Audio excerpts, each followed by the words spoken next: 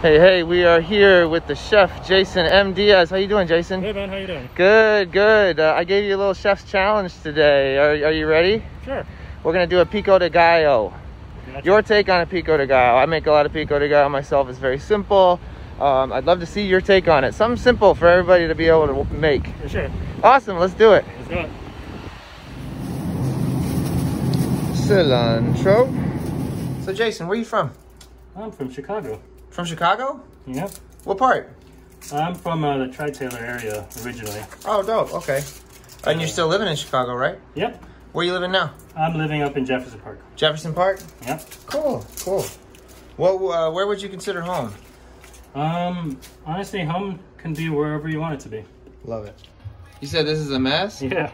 it looks pretty good to me. Here we go with the pico. I agree.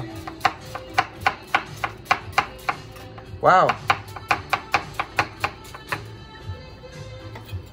How do you hold a knife? Well, you want to hold it straight and you want to keep two fingers on it so it's never moving. If you hold it back here, it's going to move all over the place. You can slip, cut your finger, Mhm. anything else. So you always want to hold it straight. Hold it straight. Make sure it doesn't go anywhere. Just like your cutting board, you always want to put something underneath. Oh, okay. Uh, Smart. Paper towel, plastic wrap, whatever you want. Smart.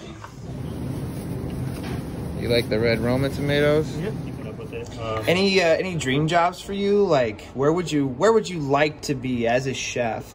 right now, I think like one of my things that I like to do in the cooking field would be, um, you know, traveling, kind of like you know maybe doing videos of like you know different areas of the world, tasting different cuisines. That's always been good because I love traveling. Oh, absolutely. Where have you been? Uh, let's see, I've been to the Philippines. I've been to you know China, not for a long time. Um, Oh, okay, sure. I've went to Japan once. Uh, Oh, I went wow. to Korea once. So, you know, I've been in the eastern areas. And I also went to Puerto Rico. Hey Jason, What's up? don't forget the jalapenos, bro. Of course not. It's the key to working with these peppers? Uh, well, obviously, if you were smart, and I'm not, I would be wearing a glove. But uh, the main part about what you got to think about is um, jalapenos is you want to remove the center, which is the vein part. You Yeah. don't- It's not so much the heat and the be- uh, and the seeds. Yeah. Most of it in here. You still want to keep some heat, obviously. Sure. I mean, like, who doesn't love spicy food, right? Portillo's or beefies? Uh, Portillo's. What's your favorite pizza place? My favorite pizza place is this old joint that used to be in, um, or it still is there. It's called the Benzo's. It's on a Tri-Taylor area. You were talking a little bit about a praying mantis you saw. Oh yeah. So I mean, like with all the times coming, you know, um, how it's going down everywhere with the COVID nonsense. Sure. You know, it was just like out of nowhere. I looked outside the window and I saw this big praying mantis, bright green. You know. Yeah. And like I was just like, huh. Spiritually thinking, you know, you, you realize that praying mantis is also like a meaning for when you look at it. It's saying be patient and think about your actions for your next move. So, I mean, I took that as a thing where it's like, okay, so let's not try to ra- be rash and go back to work and all this stuff, but let's think about what we should be thinking of doing next and all that. And take some time. Look at this, we got a pico here. A little avocado in there, you throw some garlic in there. Mm-hmm. How'd you spice it?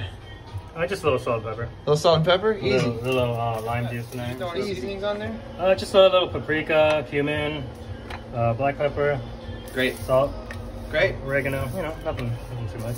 Easy. Yeah.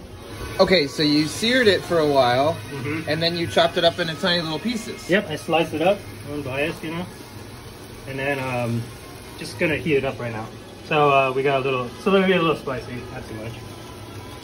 Nice. I mean, I've always had Cool. a fondness for cooking, trying different stuff. You know, as a little kid, Sure. you know, I used to like help my mom out in the kitchen sometimes. Oh, nice. Okay, so your mom is a big cook? Not big time. She's uh, one of my, you know, more, um, I guess I would say, inspirations.